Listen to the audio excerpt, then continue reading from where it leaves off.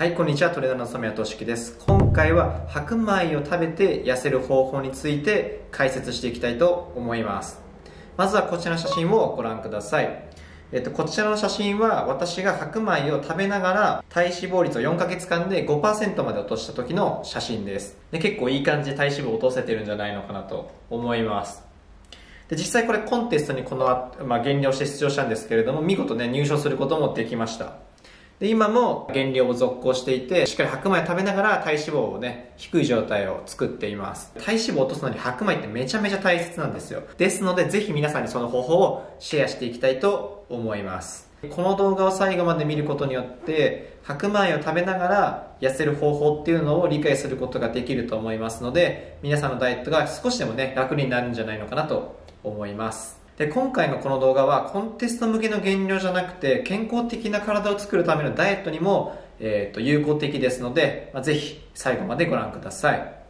で注意点がね一つあって、えーこの内容っていうのは筋トレをすることっていうのが大前提となっていますのでもし今筋トレをせずにダイエットしてるって人がいたらぜひあの筋トレをねやるようにお願いいたします。私のチャンネルではこんな感じで筋トレとか減量についてえー役立つ情報を発信していますのでもしこの動画が役に立ったらいいねボタンとチャンネル登録してもらえると嬉しいです。よろしくお願いします。もしわかんないことがあったらどんどんコメント欄にコメントをお願いします。まあ、それでは早速解説していきたいと思います。まずなぜ白米を食べても体脂肪を落とすことができるのかっていうところから解説していきます。白米を食べながら体脂肪を落とせる理由なんですけれどもそれは白米が運動する時のエネルギーになるからです、え白米っていうのは炭水化物に分類されるんですけれどもこの炭水化物をえーっと細かく分けた時に食物繊維と糖質に分けることができます。でえーとその中でもこの糖質ですね。この糖質が運動する時のエネルギーになってくれます。どういっった運動の時にこの糖質が効率よくエネルギーとして使われるかっていうとそれが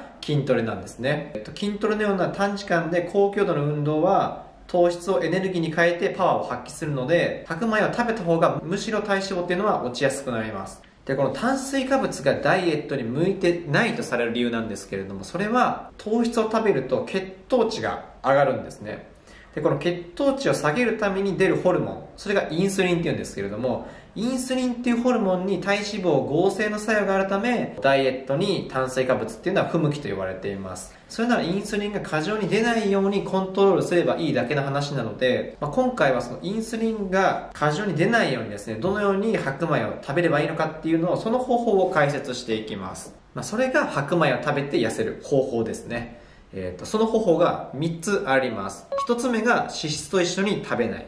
2つ目が1回の量は減らしこまめに食べる。3つ目が早めに夜ご飯を食べ終えるです。まずは1つ目の脂質と一緒に食べないから解説していきます。脂質と一緒に白米を食べない理由なんですけれども、まあ、脂質を取らないようにすることによって体脂肪となる材料をなくすためです。白米を食べると少なからずインスリンっていうのが出るんですね。えーとインスリンが出る時っていうのは体脂肪の合成っていうのが促進されています。その時に体の中に体脂肪の材料になるその脂質がたくさんあると体脂肪っていうのが合成されやすくなってしまいます。ですので白米を食べながらダイエットしている時っていうのは脂質をなるべく控えてあげて体脂肪になってしまい材料っていうのをなくしていきます、まあそうすれば白米を食べても体脂肪っていうのは作られにくくなるんですね。で私は実際にどんなものを食べているのかっていうところなんですけれども写真はこんな感じになっています、まあ、白米があってで汁物があって野菜があって、えータンパク質になる鶏胸肉があるような感じです。ですのでこんな感じ脂質っていうのはほぼカットされています。脂質をカットする代わりにタンパク質を一緒に食べてあげています。脂質っていうのは体脂肪の材料になってしまうんですけれどもタンパク質は筋肉の材料になります、まあ、ですので体脂肪を落としてる期間っていうのは筋肉も落ちやすくなってしまいますので、まあ、しっかり筋肉が落ちないようにするために筋肉の材料になるタンパク質っていうのも、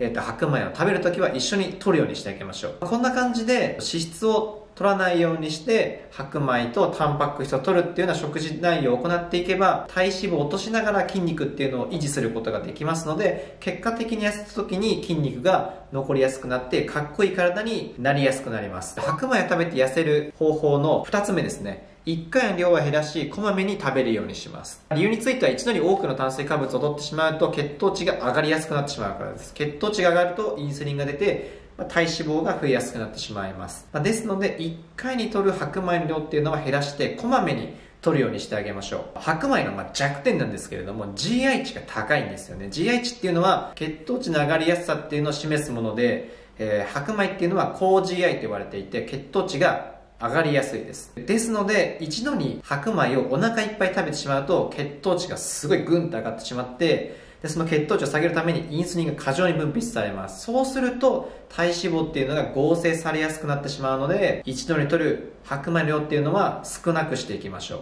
まあ、実際の私の食事内容については大体朝に 150g 昼12時に 150g3 時ぐらいに 150g6 時ぐらいに 150g っていうような感じで、えー、と白米っていうのはこまめに食べています。でこの食べる量っていうのは厳密に説明すると長くなるのでこの動画ではちょっと割愛させていただきます。でもし食べる量っていうのを詳しく知りたいっていう人は、えー、ローファットダイエットの方法っていうのを別で動画を作っていますので概要欄にそちらを貼っておきますのでチェックをお願いいたします。白米をこまめに食べる上で、まあ、目安なんですけれども男性であればえー、と1食あたり 150g で女性であれば 120g にするのが一つね目安なんじゃないのかなと思います、まあ、この辺は筋肉量だったりとかその人の活動量によって少しね変わってきてしまうのでそこはね臨機応に変化させてもらいたいんですけど一つ目安を置くとするのであれば、まあ、それがいいんじゃないのかなと思います。この体脂肪を落とす期間っていうのはどうしてもね、お腹いっぱいにご飯を食べてしまうと体脂肪減りにくくなってしまうので、そこはね、我慢してもらって、でもね、白米食べながらダイエットすることができますので、たくさん食べるっていうのはちょっと我慢は必要なんですけれども、このこまめに食べるようにすることができれば、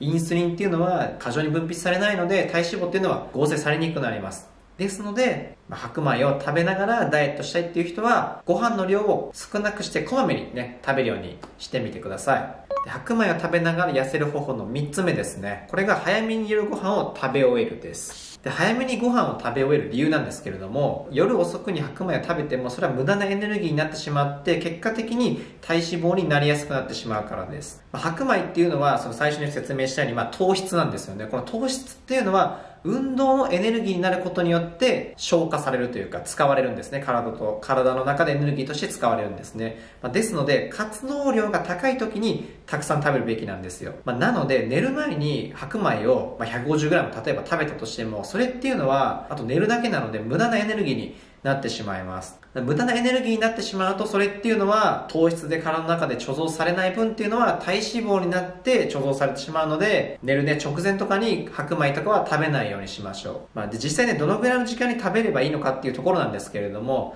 まあ、遅くとも寝る3時間前には、その白米を食べ終えることをお勧めします。で、私の場合は、だいたい11時ぐらいに夜寝るんですけれども、えー、6時ぐらいにはその白米ですね夜ご飯食べるようにしています、まあ、そうすると寝る前っていうのは軽い空腹状態になっているのでえーと、寝ている時の脂肪燃焼効率っていうのがとても良くなって、えー、体脂肪が落ちやすくなりますで最初にねお見せした通り、まあ、こんな感じでね減量をね、えー、と7月に行ったんですけれどもこの時っていうのももちろんあの夜ご飯の時間っていうのは早めに食べていましたし今も、えー、と6時ぐらいに食べるようにしています、まあ、どうしてもねその寝る前とかに食べてしまうと、まあ、私のね体感なんですけれども体脂肪かなりね落ちにくくなってしまうんじゃないのかなと思いますのでこの食べる時間っていうのは寝るせめて3時間前には食べるようにしてみてください。まあそうすることができればね、あの白米食べて体脂肪を落とすことができますので、まあ、なるべく早めに食事はとってあげると。と運動量が多い時に炭水化物を取るような感じで意識してみてください。えー、それでは白米食べて痩せる方法をまとめていきます。えー、一つ目白米っていうのは、ま、糖質になります。で、糖質は運動のエネルギーになるので、ダイエットに必須です。まあ、かっこいい体を作りながら体脂肪を落としていくためには、まあ、筋トレが大切で、その筋トレに糖質っていうのは使われるので、しっかり白米を食べて筋肉をつけながら体脂肪を落としていきましょう。